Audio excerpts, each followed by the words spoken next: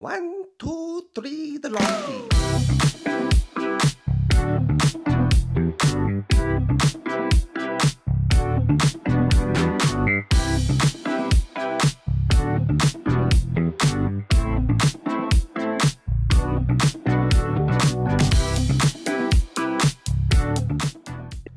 Hello and welcome back to another episode of the Lawn Feed podcast. I am Andrew, your host for this episode, and joining me is Chris. Oh, it's Mo time, and a second time guest. We have Aaron Hathaway from Nufarm, which we will introduce you to once again in just a moment.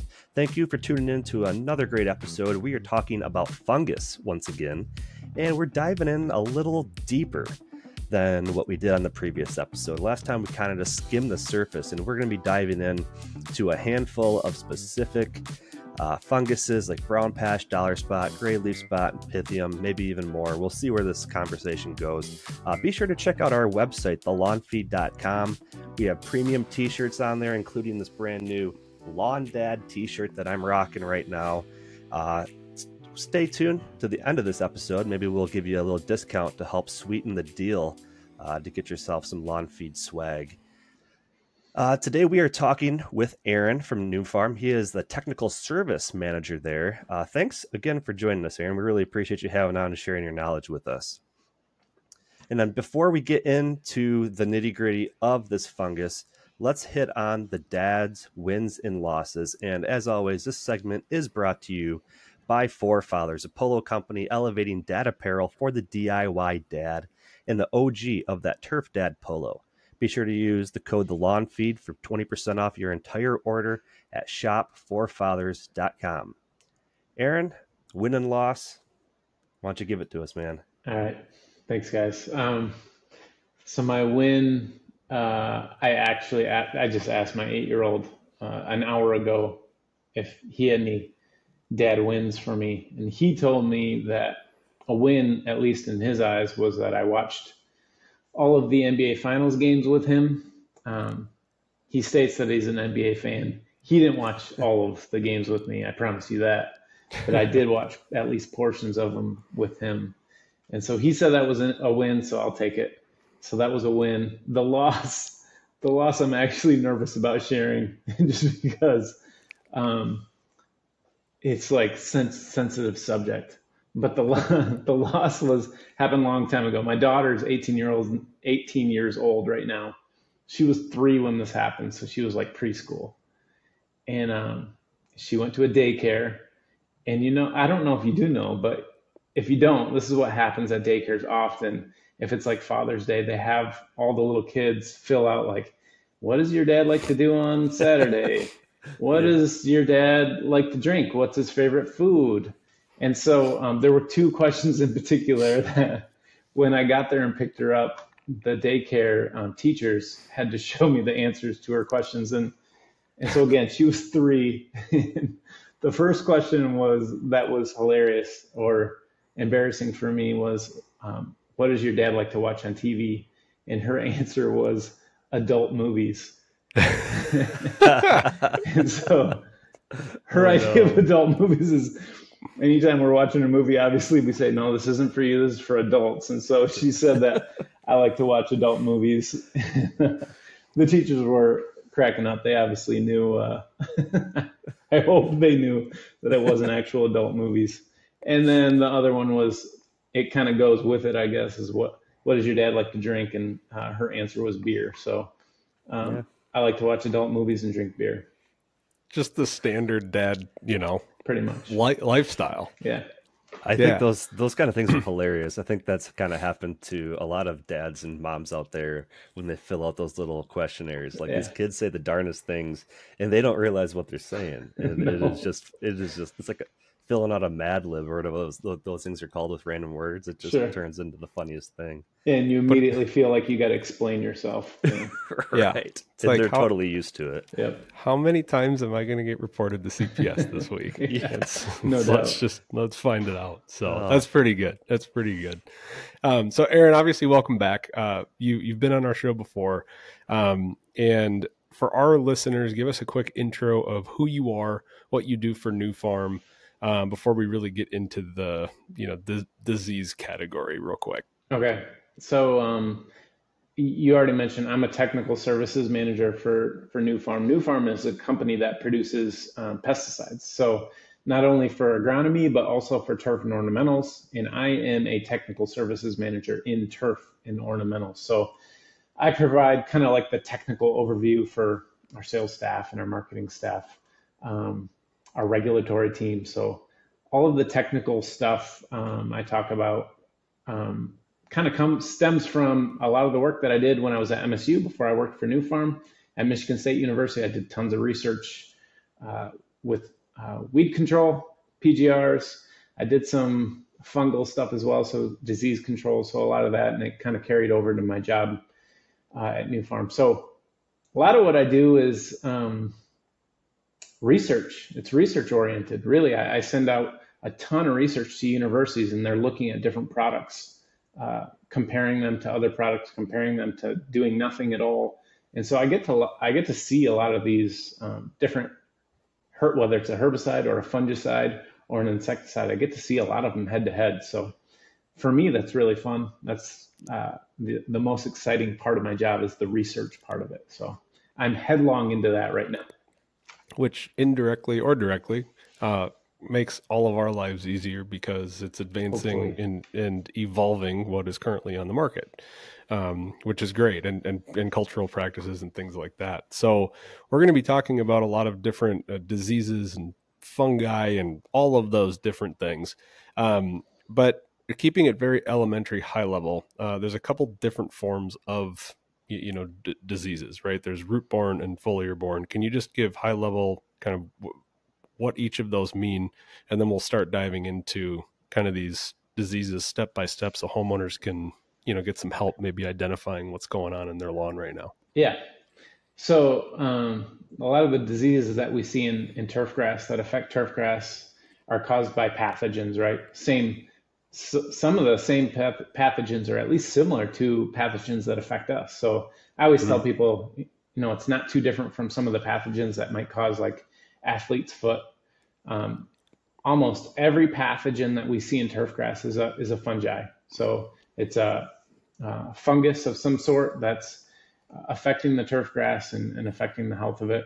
But of course, there's nuanced differences between these fungi that we find um, in the turf, whether it's on the foliage of the turf, turf or in the thatch or in the soil. And so you mentioned there's some soil-borne pathogens, um, pathogens that kind of reside in the soil, and those tend, not always, but tend to affect the roots more than the shoots and the leaves of the plants. And then we have a lot of foliar pathogens as well that affect um, the leaves of the turf. And, and so in, in, the foliar pathogens, often you see those symptoms on the leaves and on the shoots of the turf.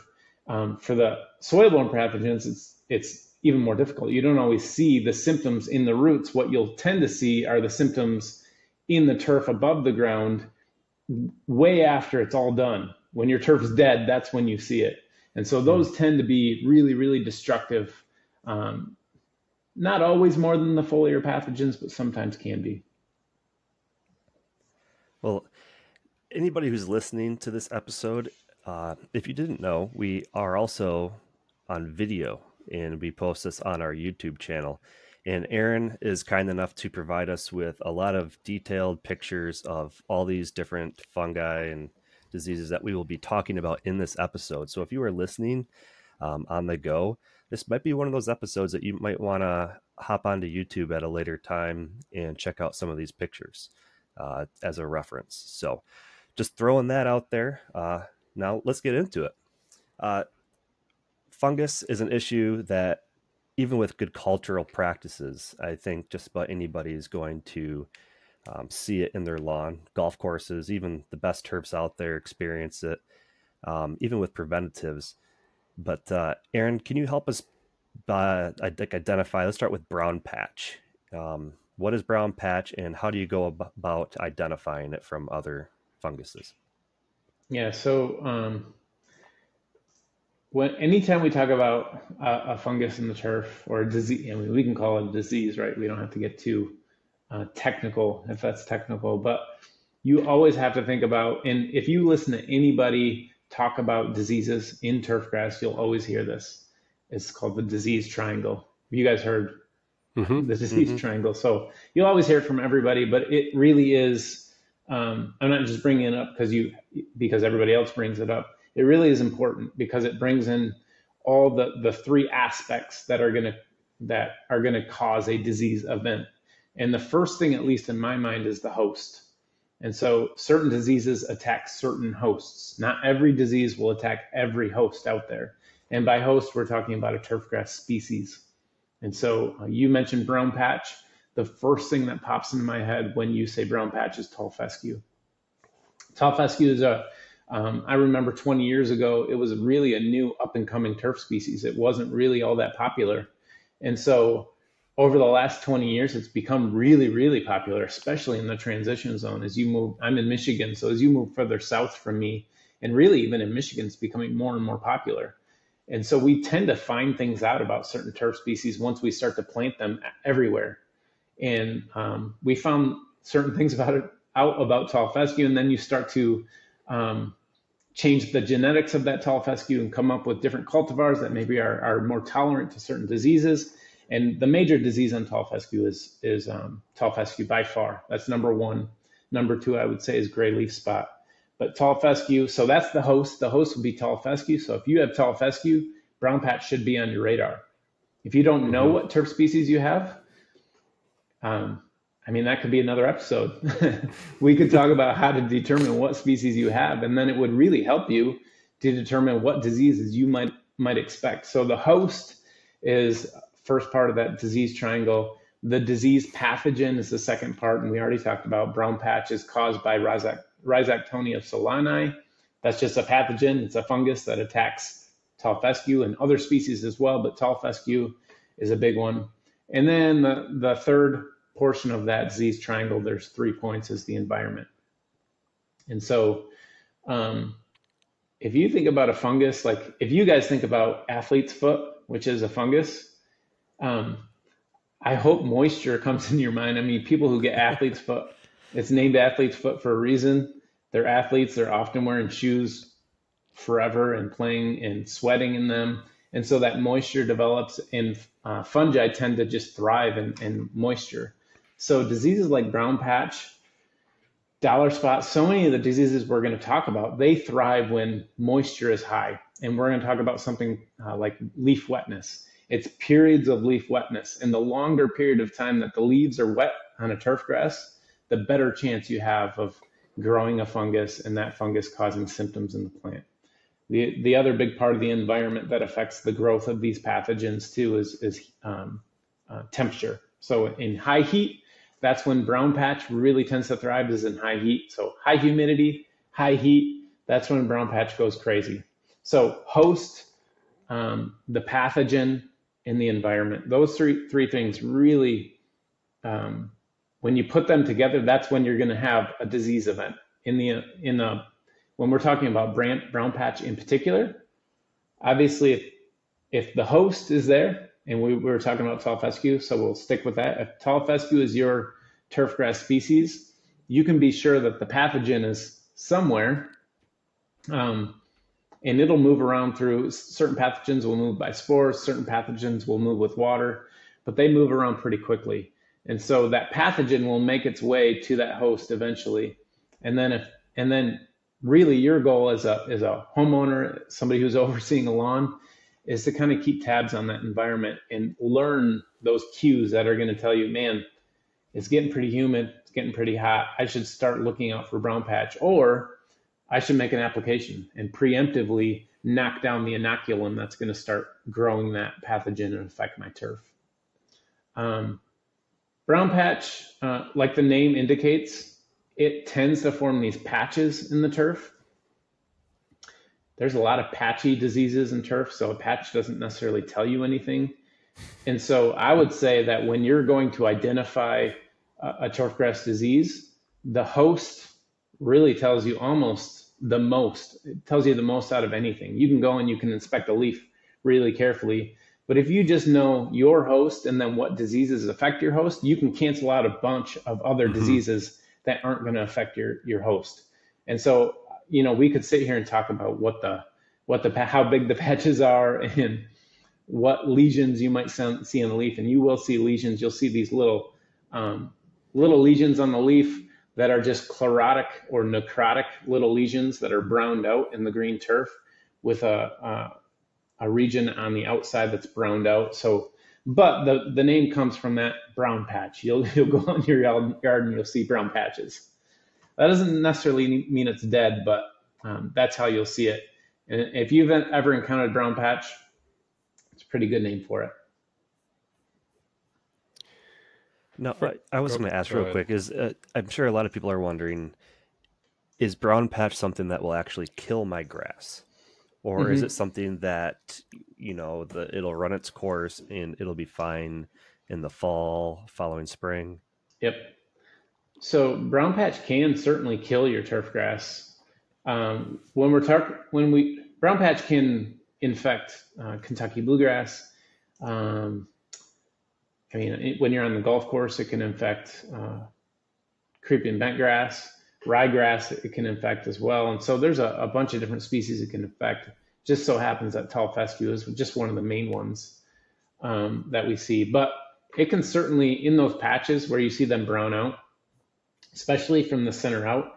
And pathogens tend to grow like that. When you see, if you go and you look up um, fungi on the internet, you'll see people plating them out in petri dishes and they grow from the center out. So they'll plate them, they'll put the fungus in the center of the plate, and then it will grow from the center of the plate out.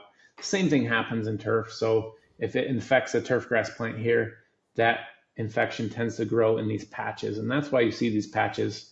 And especially at the center of that patch and out, you can certainly see dead turf in patches all around.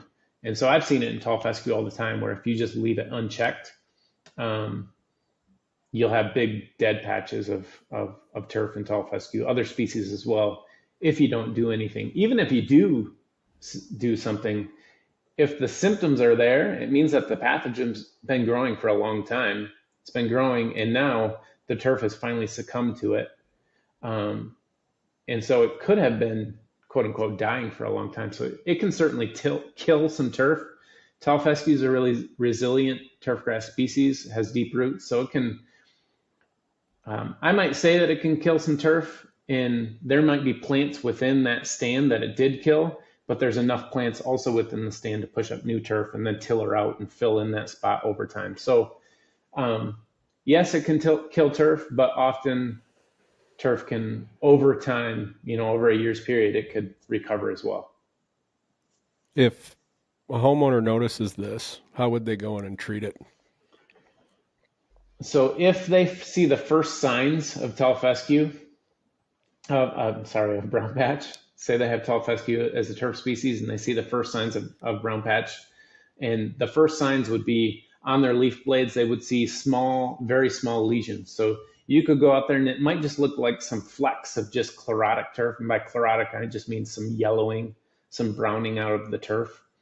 Then you would go and you you could pull up, and I'll show some pictures of this. You they can look at individual turf leaves and they'll see these small lesions on the leaves. If they see those lesions, they should know that a fungus is involved. They should know if it, if they know it's tall fescue that it's likely brown patch if it's been humid if it's been hot, if all these things come together, then brown patch should be on the radar and they can certainly go and spray a fungicide. That's one good way to kind of just check. We, we call it inoculum. It's, it's the pathogen. It, um, like I said, it'll grow, it'll keep growing until those conditions disappear. And once the humidity and the heat disappears, then it can stop growing or at least slow the growing but as long as those conditions are in place, it'll continue to grow. It'll continue to cause those symptoms in the plant. And so um, they can spray a fungicide. Um, other than that, there isn't a ton that they can do. They can reduce irrigation. They can try to reduce the amount of leaf wetness that will be there so that the pathogen has a tougher time growing. Um, even putting down less nitrogen in times where you might see high do- or high brown patch incidents less nitrogen just because nitrogen causes new growth. New growth can be very succulent, can be um, less tolerant to disease like brown patch. So a little bit less nitrogen during those times. But I say that, but at the same time, you want healthy turf grass. So you don't want to mm-hmm. withhold it by any means. So it is, it's one of those times where if the disease is present, you don't have, there isn't a ton that you can do besides spraying a fungicide that will halt it in its place. Nothing else is really just going to halt it unless the weather changes. Yeah, that's great. And you know, that's going to be a repetitive answer for I think, you know, a couple of these right coming coming on the pipeline, but you know, in to recap what he just said, it's there are things that you can do if you see something in your yard. Your entire yard is not going to die. Um, you know, I want to say that early on before we get onto the other ones. Uh, there are things that you can go do to prevent them, and sometimes the answer is not to go throw a whole bunch of fertilizer down right? Mm-hmm. Um, especially with newer turf. So, with that, uh, we'll we'll we'll get into you know some of the other ones, but uh, dollar so dollar spot. Uh, moving on from brown patch, dollar spot's a, a different one. Uh, where would that be most common in in terms of turf grasses? Uh, so, how do you how do you ID it, and then what would you do to prevent it? Okay, so we talked about brown patch. Dollar spot is is um, a disease that I think is probably the most ubiquitous disease. It affects probably. I'm not sure there's a turfgrass species that it won't affect, and so but Kentucky bluegrass is a big one. Um, if you're in the South, Bermuda grass, zoysia grass, it'll affect those. Um, bent grass on golf courses, fine fescue. It will affect tall fescue, but not to the extent that um, that brown patch will. So pretty much every species out there, dollar spot will attack. Um, dollar spot, like brown patch, is another fungus. Um, dollar spot will grow in the thatch, and so this is one where. So let's talk about ID first. Um, mm-hmm. It's one where you'll also see lesions very similar to brown patch. You'll see these circular lesions if you pick out one leaf from a stand of turf, and so dollar spot, just like brown patch. Brown patch, I would say especially in in uh, lawns mowed at like three inches. The taller they're mowed, the bigger the patches will be. So you could hmm. have easily one, two foot, three foot patches sometimes in tall fescue. Um, dollar spot is going to be smaller, um, hence the name spot. they don't, they don't. Um, the names do a pretty good job, I think, of describing the diseases sometimes. On a golf course, they're the size of a silver dollar. And I think that's really where the name comes from. But we don't tend to see that in our lawns on a golf course because fairways are mowed at, at you know, half an inch or even lower. Greens are mowed at an eighth of an inch or even lower. So those spots tend to be like a quarter or a half dollar sized. Once you get to a lawn, it's more like, um, I don't know, maybe four to six inches in diameter, those spots. And so you'll see them in spots. And if you start to see those spots, again, I encourage you to go out and pick a leaf, especially on the edge of the uh, necrotic leaves. When I say necrotic, I mean like void of any green tissue. The tissue is dead, it's necrotic, it's dead. And so go to the edge of those spots and pick out some some leaves and look for lesions, actual smaller lesions on the leaves themselves. And so you'll actually have to pick out leaves. You'll sometimes you'll get on your hands and knees Diseases is one where you really have to get down and look into the turf and actually get on the edge of the the just because some tissue is dead doesn't mean the plants are dead by any means. The the mm-hmm. roots can still be living. But get on the edge of the dead tissue and look for some tissue that is just being affected. And you'll see lesions. If it's dollar spot, you'll see lesions on the leaves. And dollar spot does something, and we start to describe these lesions in very uh, in meticulous detail when we start to differentiate between these diseases. Dollar spot will cause an hourglass lesion. So if the lesion crosses from one end of the leaf to the other, um, and I'll show you a picture of this as well, that lesion will cause that leaf to shrink in where that lesion is and cause this dollar spot or this hourglass shape. Sorry. Mm-hmm. If you see that hourglass shape, it's almost a dead ringer. It's a dead ringer for dollar spot. It's not something you see with brown patch. It's not something you see with gray leaf spot. And so that's something that you'll find with dollar spot almost um, with that particular pathogen uh, in particular. So look for that hourglass, and you might have to look around, look around for a couple of them, because some of the lesions will look really similar to brown patch lesions or even gray leaf spot lesions. But if you find that hourglass shape in some of mm-hmm. those leaves, that's that's a helpful sign. Um, same as brown patch, similar to gray leaf spot, dollar spot thrives in moist conditions. So when we always say when you have dew that sits on the on the ground and doesn't dry up from the hot sun for a long, long time, when we have those dew periods that last a long time. So if you have 10 hours of dew cover on your lawn, man, you're waiting for fungus to start growing. Look, start looking for things like dollar spot. Um, also, you know, some of the warmth can help it grow as well. We also tend to see in, in cool season turf, we tend to see dollar spot in the um, fall of the season, sometimes mm-hmm. in the spring, but I tend to see it more in the fall of the season because we get those heavy dew points and we get a ton of dew that lasts late into the day. And so the leaf wetness is there for sometimes 10, even if you get 14 hours of leaf wetness on, on turf, you're asking for disease. You're almost guaranteed to have some kind of disease. And then in the about, fall, I was about ahead. to I was about to ask that because I I had I had some issues with that last year, um, but I noticed it in the fall, okay. and I because nor, normally like you think fungus and disease, you think these hot summer months because of that 150 rule, yep. right? Or, or or getting close to that, but you can get fungus and problems all the way until the fall because yeah. of the same environmental problems, right? 100%. You know, yeah, so, you just mentioned the 150 rule, and so, so Spin Martin from Pro Turf Talks taught us about that on a previous episode. Okay. We've got we've we've talked about it multiple times on here, so I'm not going to go over that right now. But um, he's also like we're talking about the dew.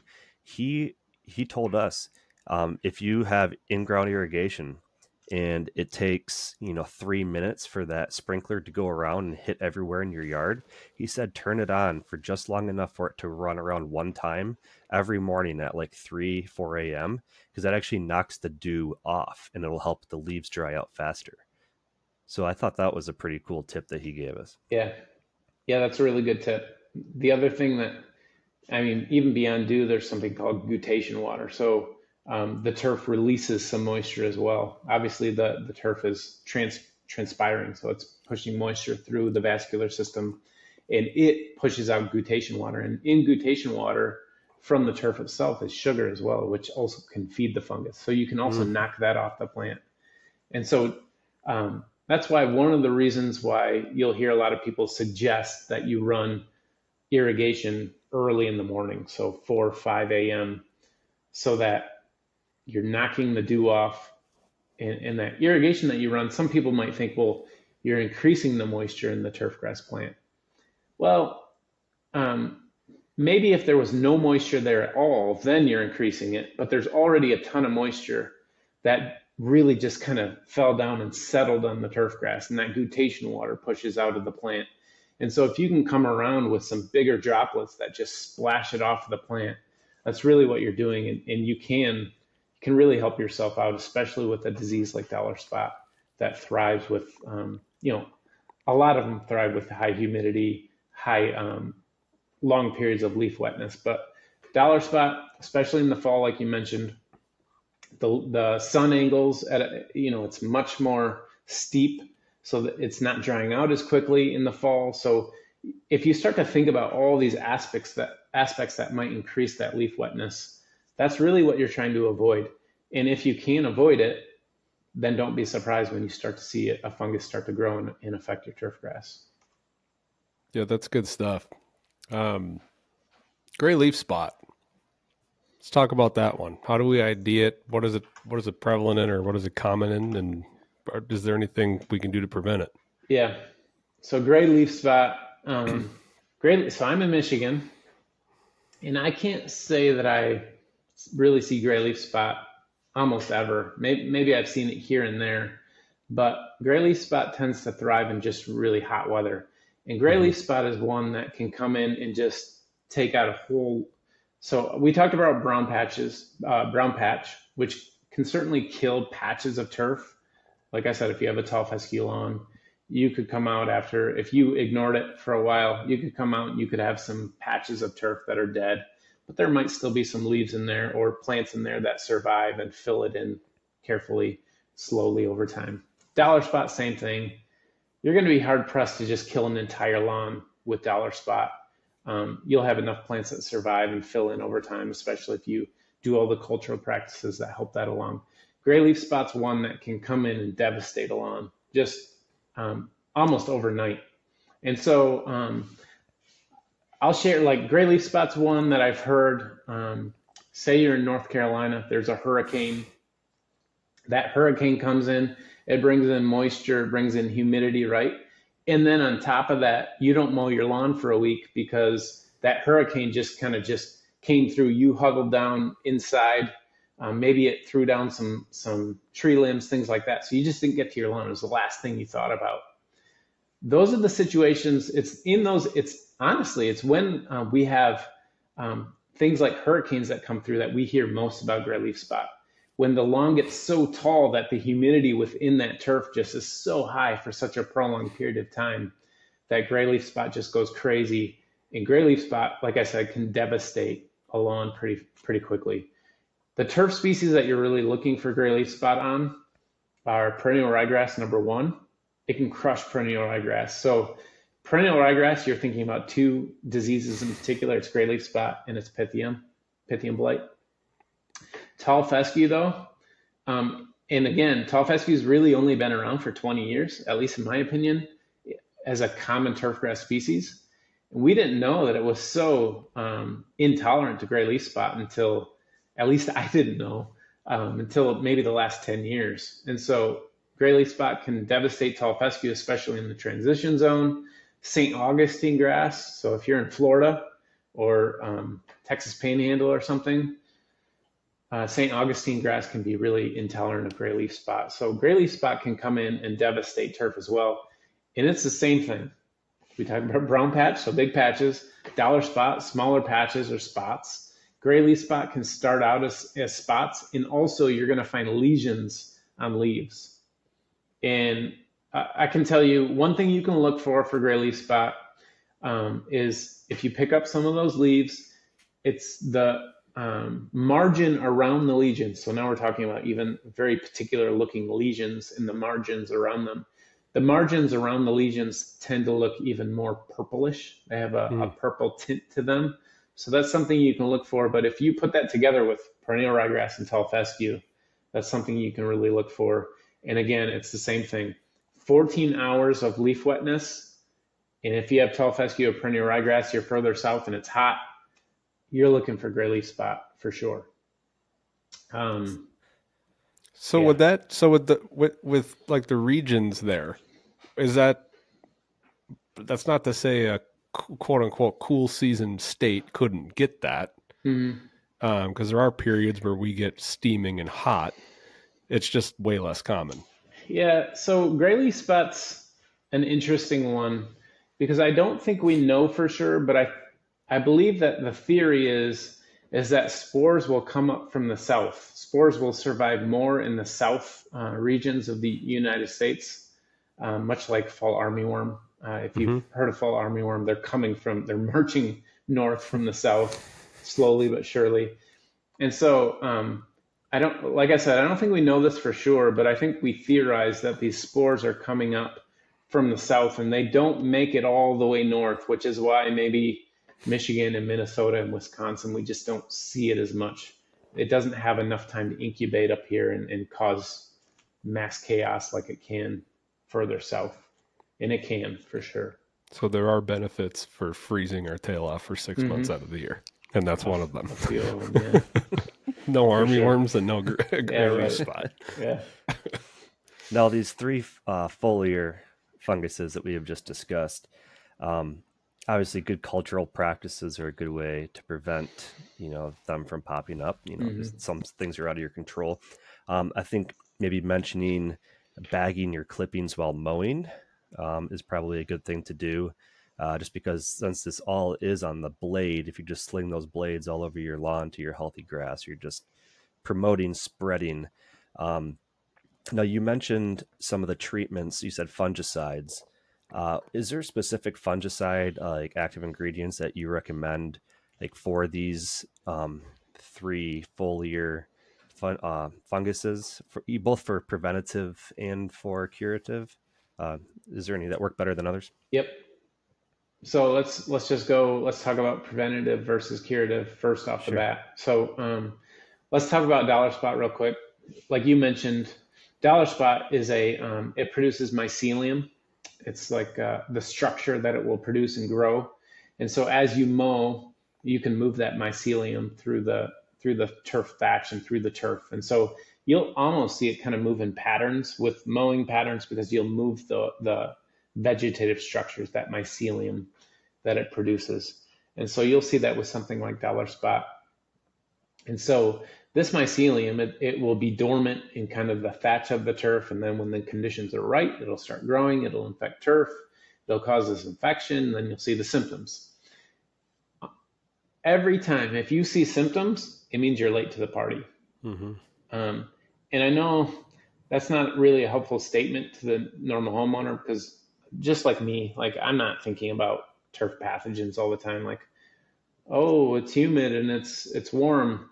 I'm I bet this turf pathogen is probably growing. I'm going to go spray something. That's not how I think. So I I get that that's easy for me to say and it doesn't really mean anything. But if you can start training yourself to one, what species do you have? Is it Kentucky bluegrass? Then then dollar spot should be on your radar. Really, any species dollar spot should be on your radar at least somewhat. Um, but if you saw it one year, if I saw dollar spot in my lawn one year and I was able to positively identify it as dollar spot, then um, then I'd go look it up. Maybe I'd Google it and I'd say, okay, dollar spot. I saw it one year. There's potential at least for me to see it the next year. If it's brown patch, if I have tall fescue and I see brown patch, I positively ID it. Or if it's gray leaf spot, whatever it is, I could Google it. Maybe I watch this and I figure it out. I should at least have some expectation that it could return, right? That pathogen is probably surviving somewhere. If it's, we just talked about gray leaf spot, maybe it's making its way further north from, from down south, but eventually it will get there just like it did the year before. If I see a disease one time then I should at least have some expectation that I could see it again. And so that on its own, to me, gives you some indication of, okay, maybe I should do things a little bit differently. So just as we mentioned, some of the cultural practices can be key. Watering early in the morning, knocking off some of that guttation water, some of that dew that may have set on your turf, so that leaf wetness is a shorter period of time. That's key. Really is key. Um, leaf wetness, I think, is the biggest one. If you can, whatever you do, reduce the leaf wetness on a golf course, they'll go out with a dew whip and they'll knock the dew off of greens and even fairways. They'll drag a hose between two carts over fairways just mm-hmm. to knock the dew off. The only reason they ever do that is to reduce the possibility that a pathogen is able to grow um, on that turf. And on those those days, they're probably not mowing. And so whatever it is. Maybe you come up with your own way to knock off dew or or to reduce leaf wetness. Um, maybe you have a bunch of trees and it's really difficult to do. Maybe your only resort is there's no way I'm going to reduce the leaf wetness period. I've got to spray a fungicide. And I'm not saying everybody needs to. Certainly, these diseases don't necessarily always devastate the lawn, but a fungicide is it, it's a good tool, right? So it's a tool in the in the toolbox, and it's it's a good one for certain certain situations. And so um, I say all that just because you don't want to wait to see the symptoms before you do something about it because it's too late. So that was maybe a long way to say that. But you mentioned fungicides. And so that pathogen, it's often, as I, I started with dollar spot, that pathogen's residing in that thatch, in the thatch of the turf. I can go a spray and spray a fungicide way before you would ever see symptoms. I'm in Michigan right when turf greens up, say it's May 1st, I could go a spray a fungicide and I could knock down the inoculum. I could really um, kill a bunch of the inoculum that was already in the turf. And we've done research over and over and over again that shows when you knock down the inoculum early, before you see any symptoms or have any idea that the pathogen could be infecting the turf, you can get way ahead of the game. And so it doesn't cure everything, but it gives you a ton of extra time before you might see a, a, pathogen really affecting a turf to the point that you're seeing pretty bad symptoms. And so all that to say that if if you have a lawn where you you're always seeing a fungus attack your turfgrass species, whatever it is, uh, at some point during the year, you can spray a fungicide before you even see the fungus. You really can, and that might even be the best way to go about it, because that's the point. You want to kill it before it causes the symptoms to be seen.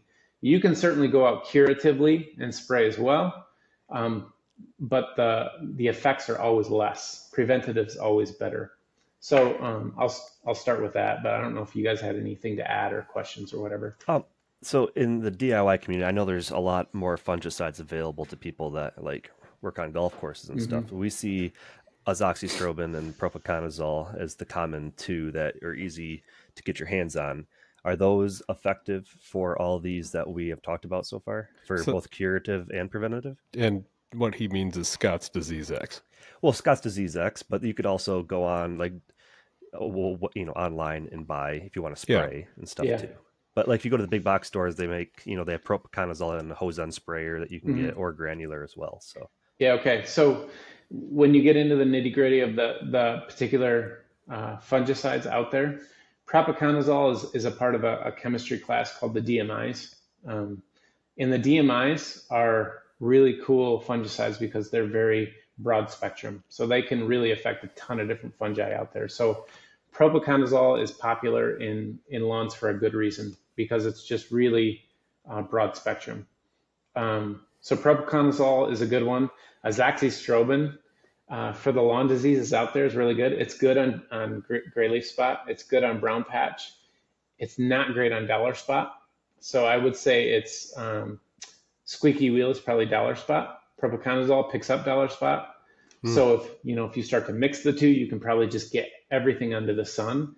Once you start to mix different classes of, of fungicides together, you can really get broad spectrum control. And so, you know, I work for um, Nufarm. We make we make a product called Tourney, and you can it can be used in residential turf. Not every fungicide is labeled for residential turf, so that's one big key to look for you can't just go and buy, um, you know, there's one called fluazinam that's really popular in golf, but it's not labeled for any use in, in residential turf. So you, you really do have to um, know which ones are labeled, but there's plenty labeled.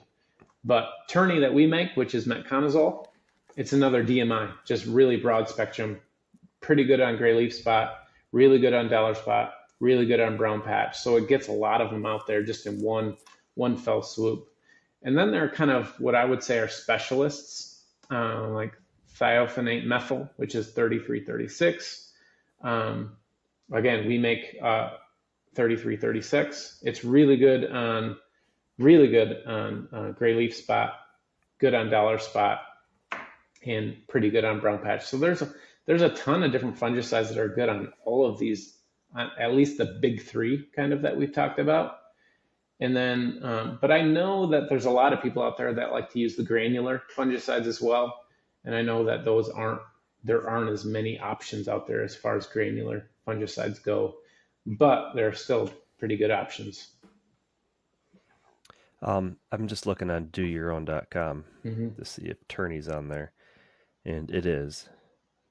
It's a it's in a big jug though, so I don't see it as a smaller one. But okay, yeah, no, that's that's cool that I know that's another piece of it is, you know, how much a homeowner is going to buy to use on their right. maybe one acre lot at the most. And so they could have a jug for 10 years sometimes. So, no, that's a big piece of it um, for sure.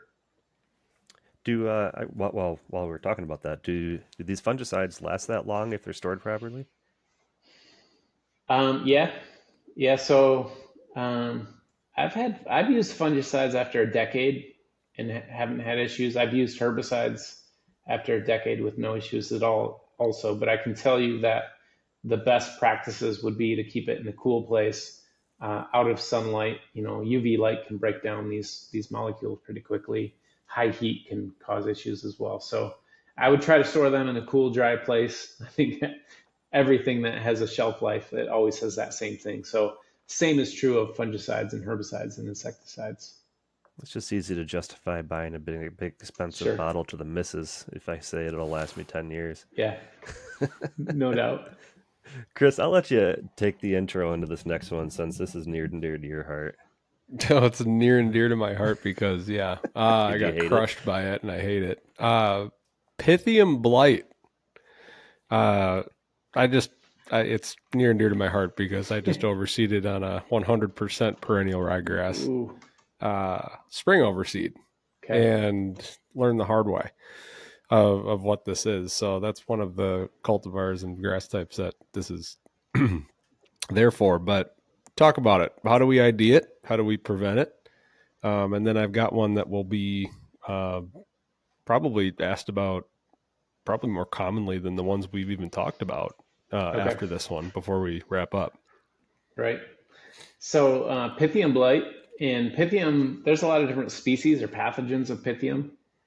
They can cause a, a foliar blight. They can cause a root rot. There's one called Pythium dysfunction that affects creeping bentgrass more than anything on golf courses. But you mentioned perennial ryegrass, which can get absolutely crushed by Pythium blight.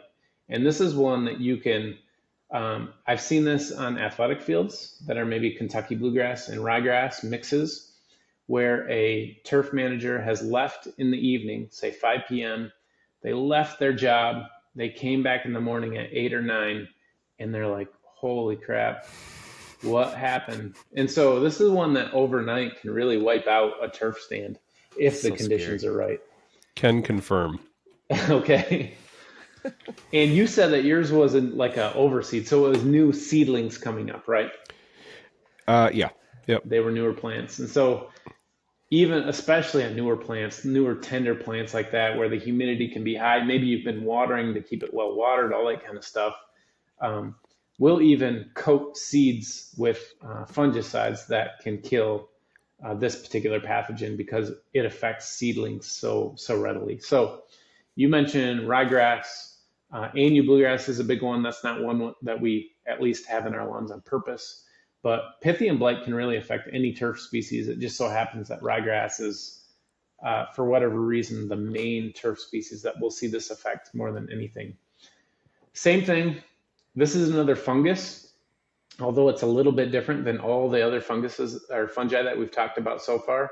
Pythium, like um, like a few other fungi, is a water mold, and so it moves in water. It will produce spores, and these spores sometimes you'll see if if you have an uh, outbreak of Pythium, if you have drainage going moving somewhere, this blight or this disease will move with the drainage. So it's moving with the water and can kind of move around in that way.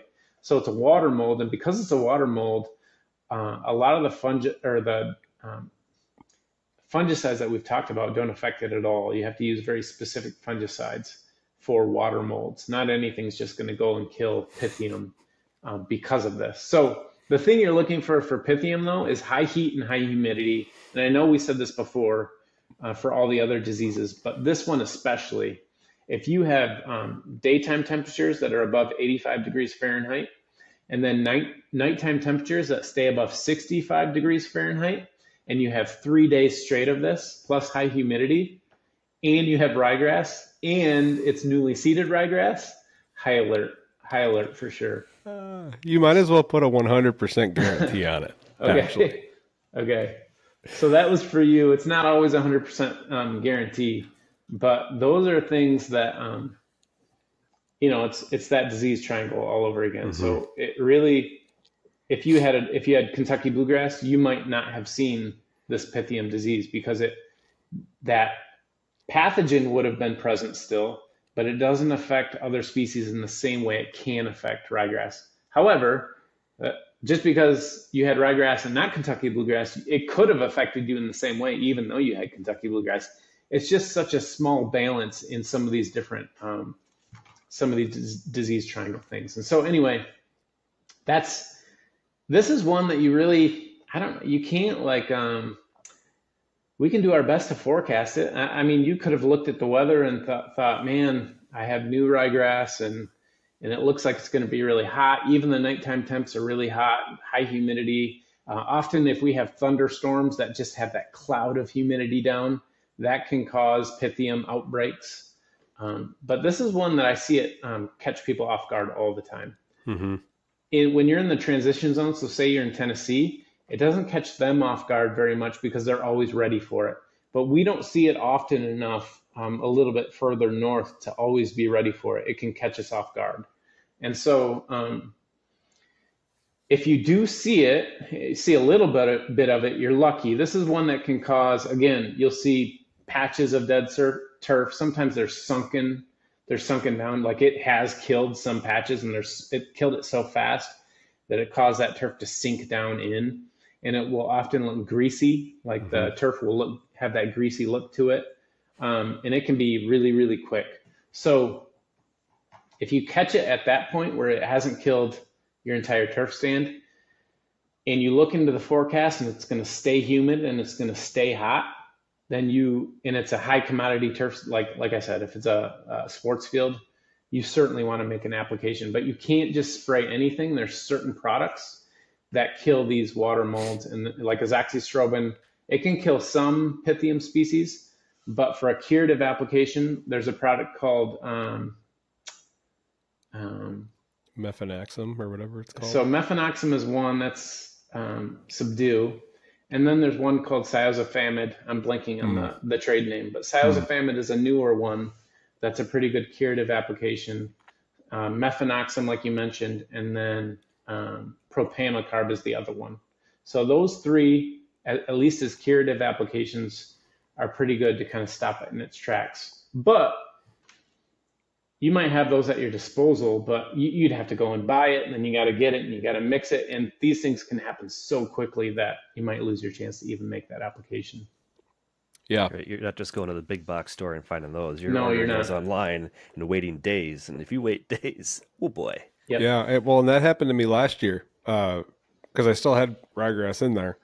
Um, that happened to me last year. Was closer to like I think it was about this time last year, about June or July, and yeah, it took four days to get there. So by the time that happened, I had like eight spots. Okay. There, and it's not going away. It's still yeah. there. Like even though you get rid of it, it's it's a root thing, so it's still there. Sure. So then this, I mean, at least I had the product this time to control it. Where I saw the one spot, I'm like, nope. Immediately went to the garage and made an application, and so it came back this year. Oh yeah, yeah. Okay. But it's like my arch nemesis just just one of those things, and Andrew knows that too. So yeah, it's a um, devastating one, yeah. But yeah, between that and like phosphites and things like that, I mean, it's just a whole new world that I've learned about in the past right. twelve months. So um, yeah, not fun, but you can be prepared for it, and that's a common theme. Is what I'm catching is you can be prepared for all of these um, in, in more of a preventative stance if you really try to, which is which is great news um, for people who are learning and absorbing all of this information, right? It might take years to get this information down. Um, the one thing that all three of us likely witnessed this year, uh, as you mentioned, you're in Michigan, Andrew's in Michigan, I'm in Minnesota, snow mold came mm-hmm. rampant uh, in the springtime. And it kind of depends on the winter that we have. We don't know what we're going to have in the fall, you know, going into the fall into the winter. But let's talk about snow mold because it is so common. Um, I've learned over my time it's not necessarily something to really panic about, mm-hmm. but it is preventable. So I want to hear your take on it. Um, I, it. You can talk about IDing it, but I think people know what it looks like when they come out of spring. Looks like sure. a bunch of patches in their yard, but can you prevent it? Yeah. So um, snow mold, yeah, obviously it's one that we see further in the north snow mold, there's a couple different kinds of snow mold. There's pink snow mold, there's gray snow mold, there's speckled snow mold. Pink snow mold is probably the one that we're uh, probably going to see the most in a lawn setting. Gray snow mold, you have to have snow cover for you know uh, 40 to 70 days to actually see it because it's only going to grow underneath snowpack. And sure. so if you have snow cover, and, and sometimes you'll see this if people you know live further north they get a lot of snow and they're plowing snow into this big pile and that big pile takes forever to melt then you'll see maybe some gray snow mold underneath or even speckled snow mold under there pink snow mold needs zero gray uh, zero snow cover so it can just grow in um, cooler temperatures and it, it tends to just like you said you see these spots or patches of pink snow mold you come out in the spring before everything's really greened up, and you'll see sometimes, hence the name, has the kind of this pink hue to it. And so, pink snow mold is again another fungus that it's not growing in high heat, high humidity. It does need some moisture to grow, but it's growing throughout the throughout the winter. So especially when we have these winters that settle down, um, either early. So say say we say we have some uh, a late fall. We go into December, January, and it's still pretty um, warm. I think we had the, the, this this last summer, mm-hmm. or sorry, this last fall slash winter, and even the year before that. Or we have a harsh winter, and then it starts to cool down, but it just we don't have snow cover. It's just kind of moist and cold. Snow mold can grow during the, during those periods of time. I rarely see snow mold killing turf. It will look like it will have killed a bunch of patches, and maybe it will kill a few plants within those patches. But usually, with a little bit of nitrogen and heat, mostly just to get some uh, growth, we see most of the turf, at least in, in lawn height turf, to come, come out of that.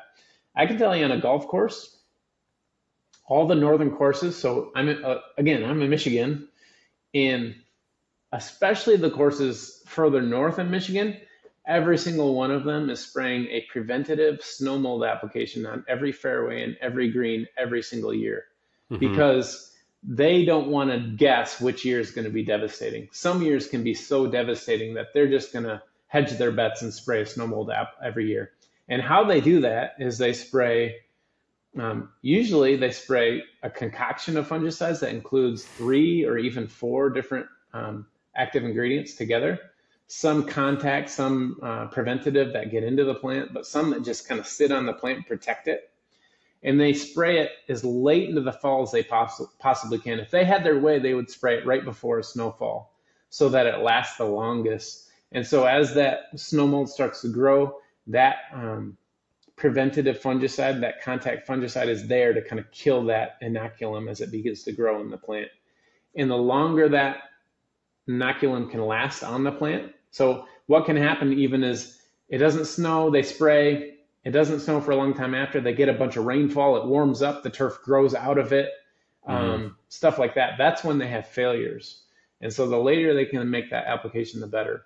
I would say for the normal homeowner, this is one where even golf courses, they're only spraying it to hedge their bets because one out of five years could be devastating where they lose a couple fairways or greens or whatever. On a on a home lawn, I would say it's maybe one out of 20 years that you might actually lose some turf, and it might not be that much. And so it may not be a bet that you really need to hedge um, by making an application ever. But when you do see it, I think you can just, you know, go about your normal activities, wait for some heat to kind of warm up the turf, the turf will start kind of growing out of it. At that point, the if you see the symptoms, the the fungus is, is kind of done growing. What's done is done. Wait till it grows out of it. Add a little nitrogen to help it grow out of it as temps warm up, and just kind of wait it out. Love it. Hey, I want to get your opinion on one thing because I have snow mold and I've had it the last couple of years. Okay. Probably more than that. But it's only in my front lawn and it is where my septic system is in my entire septic drain field. So here's my theory. Tell me if you agree or disagree. Um, the heat from my septic tank in the drain field actually melts like the bottom layer of the snow and this creates a ton of moisture that gets trapped under there. And so it's not just like a dry, you know, frozen snow. It's actually like creates more of a wet environment underneath the snow. And I feel like that's why, because I don't have it in my side or my back. It's hmm. only in my front where my septic system is. So I don't know. That's kind of how I'm justifying it. I'd love to get your take though. That's an interesting one. Um, I can't problems. say that I've ever heard that before. Yeah, uh, it's, it's, a shit problem. That um, so does the snow last longer in that area at all?